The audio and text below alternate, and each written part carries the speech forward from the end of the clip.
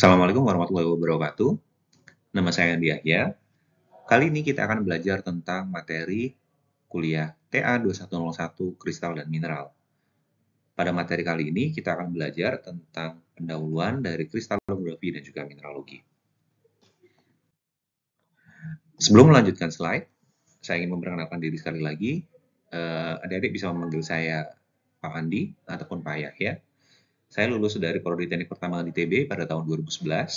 Kemudian saya melanjutkan uh, magister di Rekayasa Pertambangan ITB dengan jalur pilihan eksplorasi sumber daya bumi.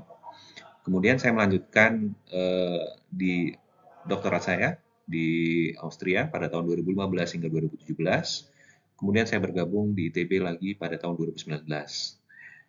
Ketika nanti uh, ada hal-hal yang ingin ditanyakan, saya bisa uh, ada bisa mengontak saya di kelas ataupun melihat uh, materi kuliah yang sudah beberapa saya upload di andiahya.com ataupun di uh, YouTube di channel Andi Yahya. Pada tahun 2019 yang lalu saya juga menuliskan sebuah buku yang berjudul Mineralogi. Siapa tahu ada adik tertarik untuk membaca lebih dalam terkait apa itu mineralogi, bagaimana tentang kristal, mineral, dan batuan, Anda bisa membaca referensi ini. Nah, sebelum kita akan mulai perkuliahan, saya ingin bertanya kepada adik-adik semuanya. Kira-kira terbayang nggak berapa banyak sih mineral yang dibutuhkan oleh manusia sejak mereka pertama kali lahir?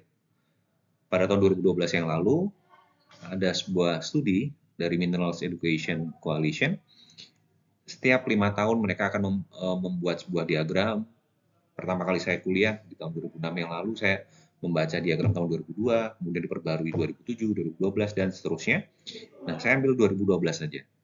Setiap uh, orang Amerika, ketika dia lahir, dia akan memerlukan sekitar 2,92 juta pounds dari mineral yang terdiri dari uh, metal, mineral, dan juga uh, sumber daya fuel, ataupun uh, minyak bumi dan juga gas. Dan apa yang terjadi pada tahun 2022, 10 tahun kemudian, kita menuju transisi dari uh, semula energi menjadi energi yang baru dan juga terbarukan. Dan ternyata ketika kita beralih menuju green energy, jumlah sumber daya yang diperlukan oleh tiap orang itu meningkat mencapai 3,02 juta pounds dari mineral, logam, dan juga fuels. Dan ada beberapa logam yang dulu belum kita lihat. Dulu kita memerlukan semen, natural gas, kemudian uh, petroleum, timbal, dan ternyata dengan uh, berkembangnya waktu, logam-logam tersebut akan berubah. Di sini kita melihat adanya logam litium yang baru dimulai, yang baru dibutuhkan uh, di era hijau seperti ini. Kemudian logam fosfat yang semula dibutuhkan sangat tinggi, sekarang juga mulai berkurang karena dengan perkembangan waktu, dengan perkembangan ilmu dan teknologi, maka akan ada perubahan dari dinamika dan juga perluan dari tiap uh, makhluk hidup. Sehingga ketika tidak bisa uh, diambil, tidak bisa diolah, maka itu harus ditambang. Sehingga ini yang mengakibatkan adik-adik di sini belajar tentang kristal dan mineral. Karena komoditi yang akan kita tambang tidak lain dan tidak bukan adalah mineral yang harus ditambang. Sehingga kita bisa lihat transisinya dengan kita menuju dari uh, menuju ke arah green energy, ternyata sumber yang diperlukan per masing-masing orang itu jauh meningkat. Sejak zaman dahulu kita juga memerlukan bahan tambang. Sebagai contoh, alat pertukaran manusia, baik itu emas ataupun perak, itu memerlukan eh, bahan tambang. Emas sendiri ketika ditambang, 70% itu digunakan untuk perhiasan. Kemudian kegunaan lainnya untuk elektronik dan juga untuk beberapa eh, investasi seperti logam mulia dan seterusnya. Kemudian kita kenal uh, pipa. Zaman dulu pipa ditambang untuk uh, material uh, dari material yang bernama galena dan galena tersebut diambil timbalnya PB-nya. Dan kata plumbing itu diambil dari kata plum, plumbum. Jadi uh, plumbing yang artinya uh, berhubungan dengan perpipaan itu diambil dari uh, dari apa namanya dari dari bahasa Latin plum, plumbum. Dan ini sudah dipakai sejak zaman Romawi. Dan kalau kita bicara tentang mineral, kita akan melihat terus dari uh, rangkai uh, kegiatan pertambangan mulai dari kegiatan eksplorasi, kegiatan penambangan, dan juga kegiatan pengolahan. Sehingga seorang explorer harus mengetahui apa yang dia cari. Seorang penambang harus tahu material apa yang akan diberahikan di alam. Dan seorang metalurgis juga harus tahu material apa yang kemudian akan diolah. Karena perbedaan masing-masing material akan menentukan bagaimana material tersebut akan diolah. Dan untuk mencapai hal tersebut, kita akan melihat student outcomes dari mata kuliah ini ketika kita hubungkan dalam suatu uh, sebuah cangkupan yang besar dari uh, program akreditasi internasional yang disebut sebagai ABET. Dan untuk mata kuliah uh, kristal mineral ini, ketika adik-adik sudah lulus, maka harapannya adik-adik bisa bisa mengidentify, bisa memformulasikan, dan juga bisa uh, memecahkan dari uh, complex engineering problem dengan mengaplikasikan prinsip yang berhubungan dengan teknik, dengan berhubungan dengan sains, dan juga tentang matematik. Dan pada kuliah ini kita akan mempunyai dua buah mid test, eh, dua buah ujian. Yang pertama dilakukan di mid test, dan yang kedua akan dilakukan di final test. Dan dalam 16 kali minggu pertemuan, adik-adik akan belajar banyak dan pada mata kuliah ini, adik-adik akan belajar bersama dua orang dosen. Saya adalah dosen pengampu pertama, dan yang kedua nanti ada dosen lain yang akan membimbing adik-adik untuk bisa memahami uh, secara utuh tentang uh, materi kristal dan juga mineral ini. Dan bagaimana untuk bisa mempelajari itu semua? Ada beberapa pustaka acuan dan juga bahan ajar yang bisa digunakan untuk uh, membantu adik-adik memahami materi kuliah baik itu yang tertulis di buku, di jurnal, ataupun uh, beberapa uh, database mineral dan pencarian yang ada di internet. Dan uh, untuk bisa mempelajari kristalografi dengan secara komprehensif, saya menyarankan adik-adik bisa menginstal software Crystal Shaper karena di software ini kita akan mencoba membuat sebuah kristal, kemudian kita akan memutarnya, melihat bagaimana kristal tersebut nampak dari sumbu-sumbu kristalografisnya, seperti yang ada di gambar kanan bawah ini.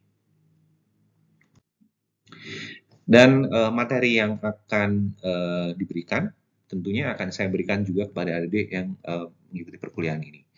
Materi kuliah akan tersedia di EduNext paling lambat satu hari sebelum perkuliahan. Dan ketika ada suatu kendala sehingga adik tidak bisa mengikuti perkuliahan, adik bisa melihat video perkuliahan secara sinkron yang juga saya sematkan di sana.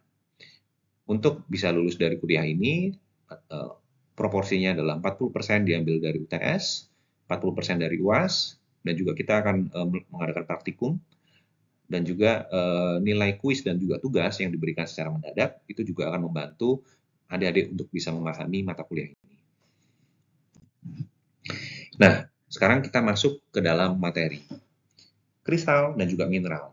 Apa sih bedanya keduanya ya? Nah, jadi kalau kita lihat secara umum, Kristal itu merupakan benda padat yang dibatasi oleh uh, bidang ataupun uh, polihedra. Dan dia, kristal tersebut itu harus menunjukkan struktur yang teratur. Karena nanti kita akan melihat ada beberapa material yang strukturnya itu tidak teratur. Dan untuk bisa disebut sebagai mineral, ada lima syarat yang harus terpenuhi. Yang pertama, padat. Yang kedua, terbentuk secara natural di alam. Kemudian yang ketiga, dia terbentuk secara anorganik artinya bukan organik ya. Kemudian harus mempunyai struktur atom ter teratur, itu pengertian dari kristal. Dan e, nantinya dari struktur atom teratur itu akan mempunyai rumus kimia yang tertentu. Hampir ada 5.000 jenis, lebih dari 5.000 e, spesies mineral yang ada di alam. Dan semuanya memiliki keteraturan. Sehingga untuk bisa mempelajari e, mineral ini bukan suatu hal yang apa namanya yang yang yang Eh, tidak bisa diduga tidak bisa diduga-duga gitu ya. Nah, karena ini semua mempunyai keteraturan. Kita mengenal di uh, tahap persiapan bersama dari belajar tentang uh, keteraturan dari uh, elektron, kemudian ada yang namanya ikatan ion, ikatan logam, ikatan kovalen, dan masing-masing ikatan tersebut akan membentuk mineral yang mempunyai sifat yang berbeda-beda. Sehingga dari keteraturan tersebut akan bisa muncul dari akan muncul mineral yang akan kita identifikasi. Sehingga struktur atom ini diperlukan untuk mempelajari uh, kristal dan juga mineral. Hal ini yang mengakibatkan di awal perkuliahan ini adik-adik akan belajar tentang kristalografi terlebih dahulu, baru kemudian akan masuk ke dalam mineral. Nah, saya coba ulang ya. Tadi ada lima ya syarat mineral. Yang pertama, dia harus homogen terlebih dahulu. Artinya, kalau semua yang tidak uh, homogen, itu pasti bukan mineral. Semua yang tidak berbentuk padatan, itu juga bukan mineral. Sehingga ketika ada yang bilang, air mineral, apakah itu mineral? Tentu bukan, karena fasenya juga bukan padatan, tetapi larutan. Es itu merupakan mineral, tetapi es yang terbentuk di dalam uh, kulkas kita itu bukan mineral, karena itu terbentuk secara uh, tidak natural. Kemudian yang kedua, dia terbentuk di alam, sehingga senyawa yang dibuat secara sintetis seperti uh, garam kita, kita kita buat secara tidak natural itu juga bukan mineral tetapi ada senyawa-senyawa lain yang terbentuk uh, secara uh, secara natural di alam itu uh, maka sudah menjadi syarat dari penamaan dari sebuah mineral. Kemudian terbentuk secara organik sehingga benda-benda padatan yang dihasilkan oleh manusia, misalkan batu empedu ataupun mutiara, batu bara itu bukan termasuk mineral. Kemudian dia mempunyai komposisi batas tertentu, jadi dia kita punya struktur atom yang teratur ya, dan juga komposisi fisika dan uh, kimia juga teratur. Sehingga ketika teratur, kita akan disebut sebagai kristalin. Tetapi ketika tidak teratur, itu kita sebut sebagai amorf. Dan amorf itu bukan mineral. Sebagai contoh, uh, kita punya obsidian. Jadi kalau adik-adik bisa melihat yang ada di layar saya, yang saya pegang sekarang, ini adalah obsidian obsidian ini bukan merupakan mineral. Berbeda dengan material yang saya pegang sekarang. Ini adalah jasper. Jasper ini adalah mineral, salah satu varian dari kuarsa. Sehingga mudahnya, ketika kristalin, itu kita sebut sebagai mineral, tetapi ketika tidak mempunyai struktur kristal yang teratur, kita sebut sebagai amorf. Dan bagaimana itu semua bisa terbentuk? Itu bisa terbentuk karena ada beberapa proses. Yang pertama, kristal atau mineral itu terbentuk karena lelehan dari magma. Jadi magma ketika membeku, membatu, akan membentuk sebuah batuan. Dan batuan itu merupakan satu ataupun lebih dari mineral-mineral. Mineral juga bisa terbentuk dari larutan. Contohnya misalkan ketika kita lihat di uh, tepi pantai, kemudian air laut itu menguap, maka akan terbentuk mineral yang terbentuk karena perubahan fase dari uh, larutan menjadi padatan. Garam itu adalah salah satu mineral. Nama mineralnya adalah halit atau NaCl dan itu merupakan salah satu mineral yang terbentuk secara natural di alam.